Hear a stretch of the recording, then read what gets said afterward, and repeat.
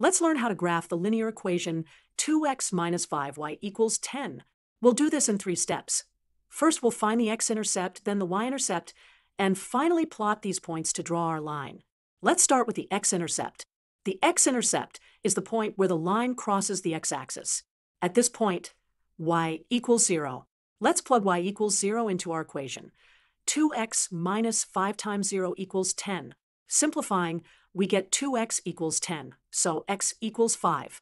Therefore, the x-intercept is the point 5, comma, 0. Now for the y-intercept. The y-intercept is where the line crosses the y-axis, which occurs when x equals 0. Let's plug x equals 0 into our equation. 2 times 0 minus 5y equals 10. Simplifying, we get negative 5y equals 10, so y equals negative 2.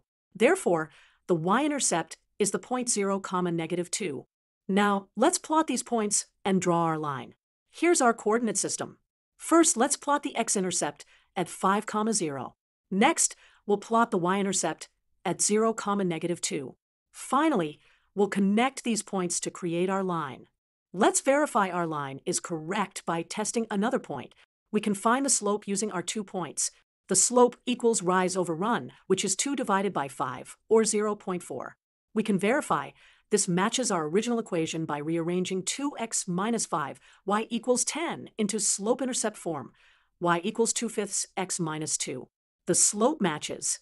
In summary, we graphed the linear equation 2x minus 5y equals 10 by first finding the x-intercept at 5 comma 0, then finding the y-intercept at 0 comma negative 2, and finally connecting these points to draw our line.